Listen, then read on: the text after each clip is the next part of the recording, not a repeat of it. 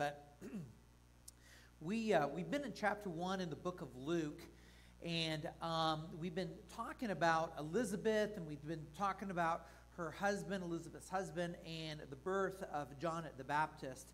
And the, the thing that I want to reiterate to you guys again is this there's a lot of times, guys, when we read the Bible and we read about a story, a situation in the Bible, and I think we often kind of feel like, wow, that was incredible. Why doesn't anything like that ever happen to me? And, and the reality is, guys, God is doing and continue, continually does things in our lives that really, when it comes right down to it, is not a whole lot different than these things. And, and the question is, is when God comes and, and does these things, what are you going to do? How are you going to respond? I'll tell you another thing. Um, we may be talking an awful lot about being in community together, but we're also going to be talking an awful lot about giving praise and worshiping together. Because that, that also is something that is so huge and, and, and, and it affects us, it changes us. You know, things happen when we worship God and, and we praise God. But I think on Sunday mornings, you guys should be uh, able to come into to, to church, uh, walking into this building with a mental list or maybe even a physical list. In fact, I would love it. I, I, that would be so cool. Pastor Jeff, I brought my, my list today, my physical list. Here it is of things that I wrote down that I just want to worship God for, things that He's done in my life over this last week. That would be huge. Would that be something that you would consider doing, something that you would consider uh, committing to doing? Because I think what happens is, is we do, we come into church and we're like, okay, God, I'm here. You know, work your stuff on me, and that, that sort of thing. And, and and God is moving and He's doing different things, but we haven't even really thought about the stuff that He's been doing in our lives that will help. It's kind of like kindling, or, or, or um, you know, you're not supposed to put gasoline on the fire, you're supposed to use kerosene or, or whatever else. But, guys, seriously, uh, th- those things will get us to that place where we need it to be. Why, why do we have church? Why did God put us in community together with this in this, this institution called the church? It's so that we, we can live lives more fulfilled so, so that we can get through life and learn things you know that we need to learn it together as a church more easily you do these kinds of things when you leave um, our church services you will be able to go out into the world and you will have more success because that's what we want that's why god has called us together as a church because we know, He knows that we will be more successful together as a community, as a church, as a body of believers than going at it alone. We have God move in our life. We write it down. We remember it. And then the next time, you know, something happens and we find ourselves kind of at, at a place where we could kind of you know, go this way or, or, or go that way or begin to doubt or begin to struggle, we remember those things that we've written down. You know, I'm visual, and probably number one. And then, secondly, if I write it down, I do well. You know, um, I don't say Caitlin's name enough. And often, even when I'm praying, I'm, I'm, I'm referring to you guys, right? praying for her and that sort of thing. But when I write it down, that seems to be when, when it gets solidified in my mind. Write the things down that God's doing in your life. And Cheryl, when the next really rocky road comes, you can stand up and you can say, No, there you go, devil. He's done it this time, that time, that time, and that time. And you know what? He's going to do it again and you might as well just go take a take a flying leap, right? Seriously. That's helpful, isn't it? And when we share those things, you know, with, with one another, it is so helpful to hear somebody else sharing, talking about different things. It helps us as well. So we have a, a, a couple here, uh, Elizabeth and Zechariah, who have an experience. And it's quite the experience, isn't it? And the thing of it is, is it got written down, believe you me. Now, whether they wrote it down or somebody else wrote it down, now I don't know, you know, how well back in Jesus' day people could write. It's not like they had paper, parchment, or whatever else, or computers where they could just type things up. But this thing got recorded. When it was time for Elizabeth to have her baby, she gave birth to a son. Her neighbors, her relatives heard all that the Lord had done, how the Lord had shown her great favor, great mercy, and they shared in her joy. Now, this is kind of interesting because if you go back and if you look, you will see that, that Zachariah and Elizabeth kind of went a little bit into seclusion, a little bit. You know, I'm not sure why, but, but it just kind of happened that way. And yet, when it was time for her to, to, to, to give birth to the son, all the neighbors, all the relatives, they heard, they heard, you know, what was going on. That's right. I heard she was pregnant. She's getting ready to have that child. That's amazing. And they, they, they celebrated how God had mercy and, and, and they shared in, in, in the joy. After the baby was born on the eighth day, everyone say the eighth day. On the eighth day, they came to, to circumcise the child, this baby and they were going to name him after his father Zechariah. Now I'm going to stop there, and I'm not even going to complete that thought because I do want to go back and I want to I want to say something. Why the eighth day? Who can tell me why the eighth day? What were the excuse me um, pulled barbecue? Um, on the eighth day, what what were they going to do with this baby? They're going to circumcise.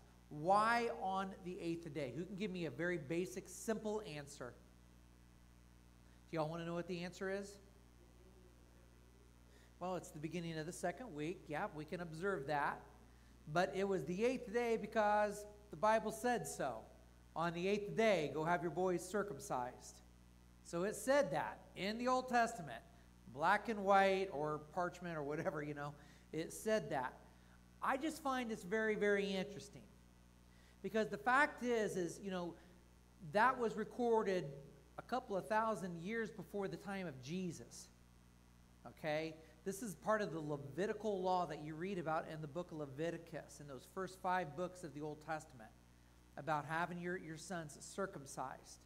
And yet it says, have your son circumcised on the eighth day. Guys, do you think that, that um, back, you know, 3,000, you know, 4,000 years ago, they had all the, the, the medical knowledge and wonders that we have today? Nope. Do you know that, you know, 100 years ago or whatever, doctors came to the realization that if you're going to have your son circumcised, there's an opportune time to have that done where it's the least invasive and, and it's the most healthy and, and it promotes the most healing and everything after that little procedure is done. And do you want to know when that, that, that optimum time is? On the eighth day. On the eighth day. Now, you may sit there and you think, okay, well, big whoop. Go home and Google it and read some of the articles because it really is pretty mind bending. And I think it's just mind bending that God knew it all along. God knew it all along, right? And uh, and yet, you know, it took a long time for people to say, "Oh, yeah, well, that makes sense." The eighth day, hmm, go figure, right? Pretty cool. On the eighth day, they came to circumcise the child, and they were going to, to name the baby after his father, Zachariah. But his mom, his mom spoke up and said, "No, we're not going to name him Zachariah. We're going to call him John. And everybody was like, John? Who's John? You know, you don't have any Johns in your family. Why you're, you're supposed to name your sons usually after the father? You know, who's John or whatever else? There is no one among your relatives who have that name. Then they made signs to the father. Why were they making fi- signs to Zach, uh, Zachariah? Why were they making signs to him? He couldn't talk. Thing of it is, is he could hear, you know, Zachariah, dude, I, I, I can't speak, I can hear, you know, I don't know. But it's kind of funny, right? But they're, they're making signs, you know, uh, to the father to find out what the father would want to name the son, you know, this child. He asked for a writing tablet, so they, there had, had been some ways at least to write some things down. And to everyone's astonishment, he wrote, His name is John. And I love the next word there. Do you all see what it says right there in verse 64? The next word, is it too small? It says, immediately. Immediately, his mouth was opened and his tongue was loosened or freed, but the, the Greek is loosened. I like that word. It was loosened. He had this stiff tongue that couldn't make, you know, couldn't get in the right form to, to make the, the sounds or whatever else. And, uh, and he began to speak, praising God. And all of the neighbors were filled with awe. It had been, I don't know, eight months, you know, since he had been able to speak. And then suddenly, after he writes it down, because the angel told him what to name the, the, the boy as well, right? Pretty cool, isn't it? And you can make whatever parallels that you want to with this. But what I'm just simply going to say to you is this God has a purpose and a plan for our lives, He has instructions for our lives, He has things that, that He would have us do. And, and I tell you, often in this world we feel handicapped, shackled, And yet, when we're in obedience with Him and we really, truly, truly, when it's just absolutely our heart's desire to follow Him, He loosens those chains. And He accomplishes what it is that He wants to accomplish. If we seek to be faithful and obedient to Him, He, he will do unbelievable things. Suddenly, Zachariah is able to, to speak again and he just starts praising God and all the stories. I, I, I'm sure he wrote things like pictures. Maybe he got little tablets. He tried to write things down. Paper wasn't easy to come by back then. And I'm sure that evening, Zechariah probably went into this like five hour long description of what took place. You remember in the temple when that angel showed up? He was like, finally, I can tell you guys you know, I, I am sure that he went to Elizabeth and said, ah, I, I, I wanted so desperately to tell you all of this, and now I, I get the chance to, to describe it all. That's pretty cool, right? And so this takes place. Uh, throughout the, the hill country of Judea, everybody was talking about this. You know how Zachariah was like quiet that he couldn't speak? Like we thought maybe he had had a stroke or something. Dude, he didn't have a stroke. Um, God like did something. He couldn't talk. And as soon as he, he wrote down his name's going to be John, suddenly God just went and he just started testifying up a storm. Can you imagine the stories? Those would be some pretty cool stories. Imagine how many times that would get shared and liked and thumbs up and everything else like that on, on Facebook. And people began to ask because of this, what then is this child going to be? For the Lord's hand is, is surely upon him. And the Lord's hand was absolutely surely upon him. Guys, we may, we again, we may sit there and think, wow, that's phenomenal. Wow, if the Lord did something like that in my life, I, I, I would never even come close to ever sinning again, you know? And, and, and, and and I think we all think that, don't we?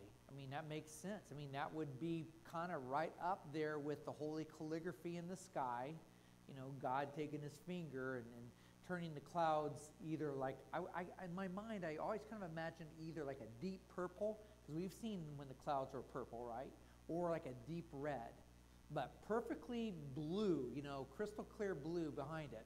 I am God, I am here, fear me don't make me come down there, you know, right? I mean, that would cause us to shudder a little bit, right? This, I am sure, I have no doubt, caused them to shudder. And we can sit there and we can think all the time, wow, if the Lord did something like that, then I would, you know, blah, blah, blah, blah, blah. Because I am telling you, the Lord does this stuff in, in, in, in my life and in Amy's life all the time. Now, is it so grandiose? Not, maybe not so grandiose. Guys, I, I remember going to the doctor absolutely convinced that I had cancer and the bad cancer. And you and I were talking about it because I know you were like, oh, I got my own problems. I'm like, yeah, I got some of my problems going on as well. And um, just convinced, well, I guess I'm going to be taking an early exit out of this world. I remember thinking those thoughts. You know, wanted to have faith. You know, I knew, I know, I read all those same books that you're reading, and all those same verses, all that same stuff. But the thing of it is, you know, we, we get pretty flesh in the week and we tend to forget. We just tend to forget. The doctor came and he said to me, he said, Jeff, you don't have cancer. You, you, you don't have any of this stuff. You've got X, Y, and Z. And Amy, Amy was there. If you can imagine, I just became a blubbering, crying idiot.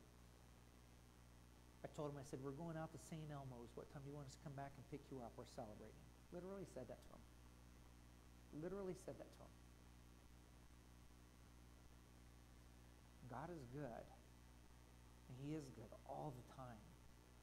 And you want to know what? Even if it was cancer, even if it was cancer, God would accomplish 10 times more for the good than the bad of the one time we write these things down. At the very least, we share them with one another so that Cheryl can come back to me and say, Jeff, don't you remember just last year what the Lord did for you? Don't you, don't you remember that? Why would you question him now? He's, he's going to be there with you, even if, even if it is bad. As he does things in our lives all the time we would do well to remember them. I told you that Amy and I were, well, actually, I didn't tell you because I was afraid you wouldn't come to church. But Amy and I were, were we, we took some vacation time. And we went down to Atlanta, Georgia uh, to hang out with Bethany, our daughter Bethany, and the son in law, um, Mason. What's his name, Amy? and um, to hang out with them and all that stuff. Got to play golf with Mason. We ate so much good food. It was unreal. Even saw a Cirque du Soleil show. It was mag- it was it was there in Atlanta. I was like, I was oh, I was so it was so much fun. I had such a good time, right? The name of the, the, the, the church, the name of the church where Mason serves, he's doing this two-year internship. You know what it's called. Don't say it. Any of the rest of you, did any of you catch what it's called, the name of the church? I love the name. I love the name. Do you remember the name of it? Did you forget? I'm going to say it, and then I want somebody to immediately tell me the reference, the biblical reference. 12Stone. What's the reference? You're not going to get cookies from Amy. 12 stones when the Israelites crossed the, uh, the river and Pharaoh was behind them and everything else, and God caused the river to go whoosh and stuff like that. By the way, how many tribes are there of Israel? Oh, interesting. So Moses said, Go and get a big stone, each of you. Each of you. Go get a big stone, one for each of the tribes. Now I want you to come and I want you to put it right here by the wall. I'm, I'm, I am. I'm going to get emotional about that because it's just so right. It's so correct. It is so good.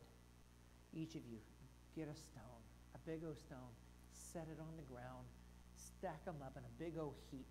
And when any of your kids or anybody walks by and they say, What's up with the stones? Um, 12 tribes of Israel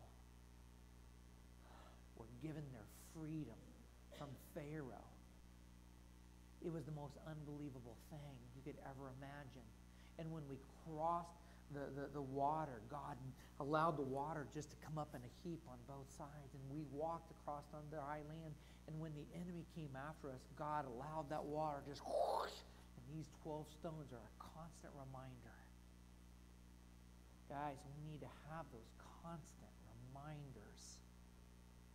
If you're going to do well,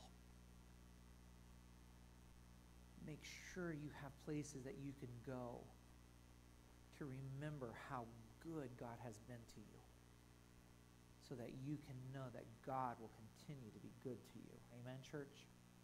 Any comments there? Anything? Oh, this passage and the next passage, I also just really, really love. So this is, what would it be, three or four months later, if we do our math, right? Because Elizabeth was, uh, was, was pregnant before Mary was pregnant, about three or four months, I think. On the eighth day, when it was time to circumcise the child, he was named what? Jesus. So we're talking about Jesus' birth. We just got done talking about John the Baptist's birth. Now we're talking about Jesus' birth. On the eighth day, getting circumcised. Interestingly enough, they, uh, they, they didn't name him immediately, even though they knew the name that they. Oh, by the way, do you know what John means? The name John. So why did they name him John? Anyone know? Have you ever looked it up? John's name, not in the Greek, but in the Hebrew, because that was the language that, that the Israelites spoke until Nebuchadnezzar came and wiped him out and made him learn Greek. So in the Hebrew, it means God is gracious. So John's message was repent, repent, repent. This, this message of, of, you know, if you repent, God's going to do all these wonderful things, you know. So um, God is gracious. Um, Jesus, here we go, Jesus. And by the way, you all know that Jesus um, you know, correctly translated into Hebrew is um, Joshua. Y'all know that, right? Or Yahshua. Yeah. Depending on, on how you want to, how, how deep you want to try to get in with your accent with the Hebrew. Um, a lot of people don't know that.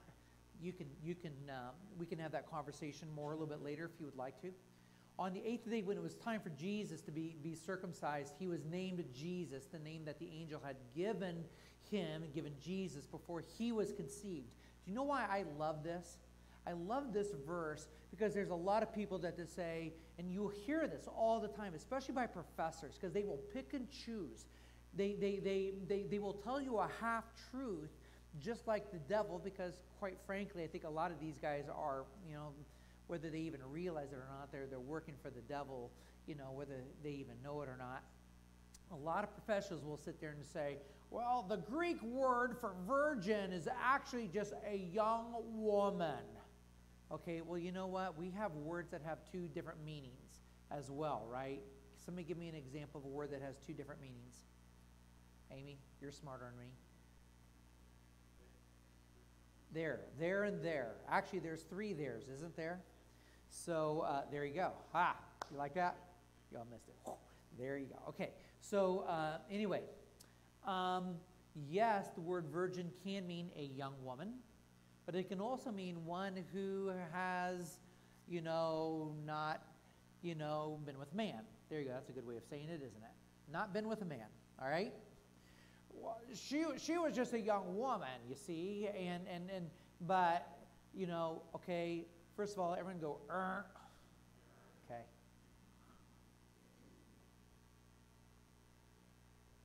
before he was conceived. He was named Jesus, the name that the angel had given the, the Messiah, the Christ, before he was conceived. How was he conceived? Through the Holy Spirit, the Bible says. Does the Bible also say in there that Mary and Joseph did not have union did not have, you know, relations uh, with each other until well after Jesus was born? The Bible says that. It says that. So I, I just want to point that out to you, okay? Because the devil might want to try to get in your head and say, oh, you know what? She was actually just a young woman. And, you know, and, and the guy says that. And Ted Turner on his show, The Real Story of Jesus, don't ever watch a Ted Turner, you know, Bible thing because 80% of it's going to be heresy and stuff as well. I hope you all know that. Ted Turner's not a Christian. He's a Baha'i. And uh, he's so full of malarkey, it's not even funny. In fact, I think he very, very intentionally hires things and he makes these movies just to, to throw people more into confusion than, than to be helpful.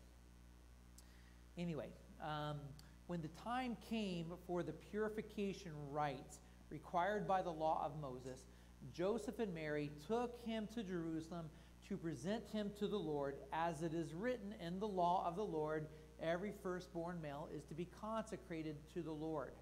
What does the word mean? What does this phrase mean? Consecrated to the Lord. What does the word consecrate mean? What's being described here? Do you know? Does anyone know? So I'll give you a hint. This, you know, Jesus was Joseph and Mary's first fruits, right? First fruits. What are we to do with our first fruits? You give it to the Lord. You give it to the Lord. Um, Old Testament, Samuel. I wasn't sure if I was going to get there, but I got there. Samuel wasn't able to have a baby, wasn't able to have a baby, wasn't able to have a baby. Suddenly she has a baby. Samuel, what does she do? She quite literally gives him to the Lord.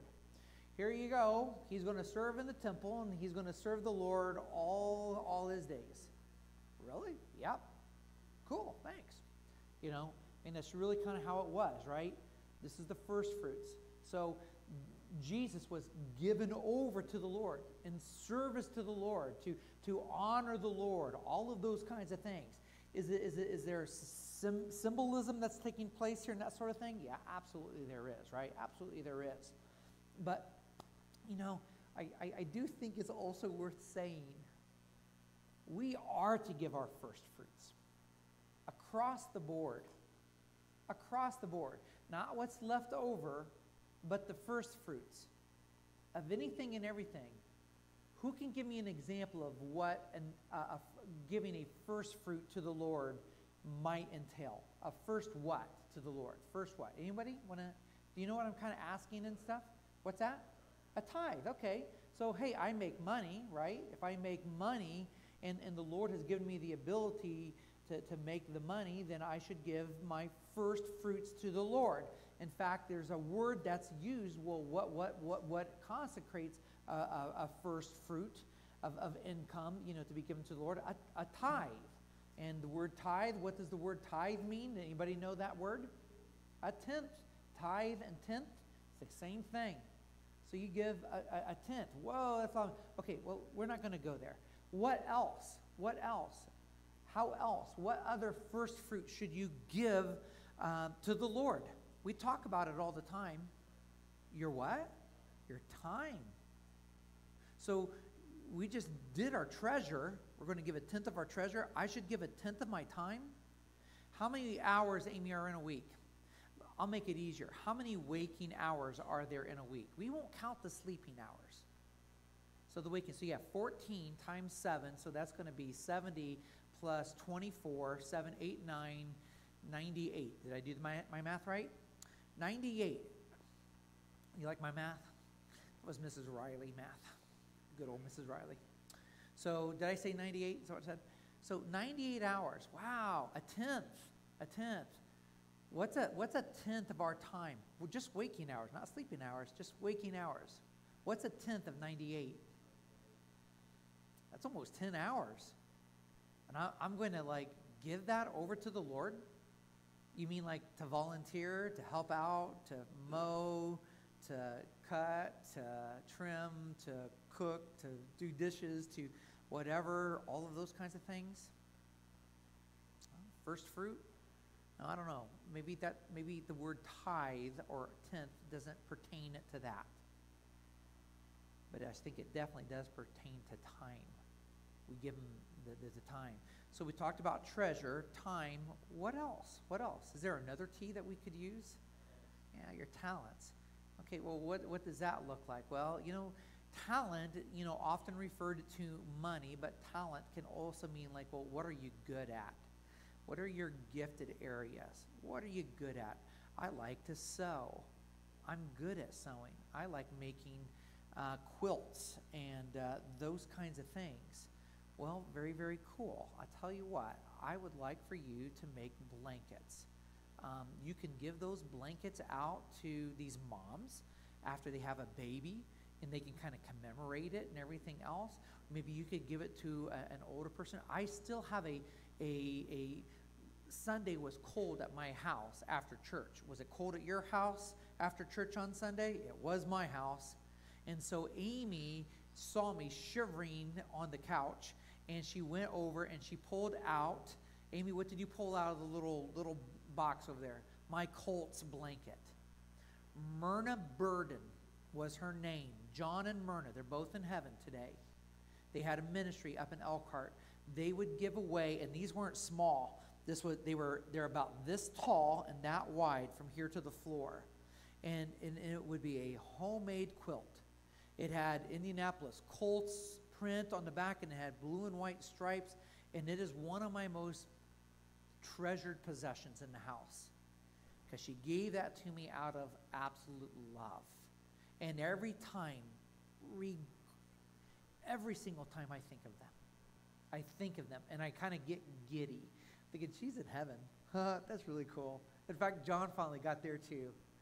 Um, I won't tell you about the time when John, we, we, we took a field trip down from Elkhart and um, we're walking across the uh, infield to the to turn one to watch qualifying for the Indianapolis 500.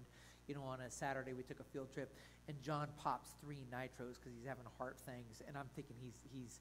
I'm like, what are you doing? So I'm taking nitros, and I'm like, oh my land, he's gonna die right here and stuff like that. But he he he he calmed down, settled down, and the cool thing of it is, is the guy in the golf cart saw what was going on, and we got a free trip to turn one. So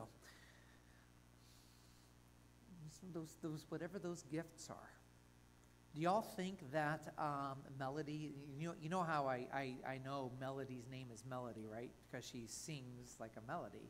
Uh, how many y'all thought that she did a nice job on that song on Sunday? I only heard it a million times, okay?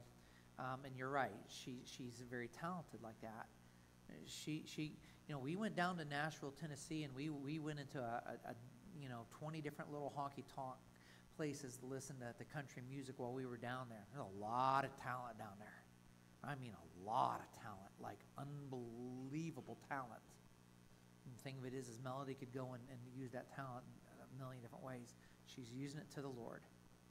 You're going to hear a song in three weeks by a Christian um, country musician named Zach. It's not Brown. What's his last name, Amy? Williams. Zach Williams and um, when you hear that that new song, you're going to go. You've listened to it, I'm assuming, at least once. Have you listened to it? Is that not like just like wow? That guy has a talent.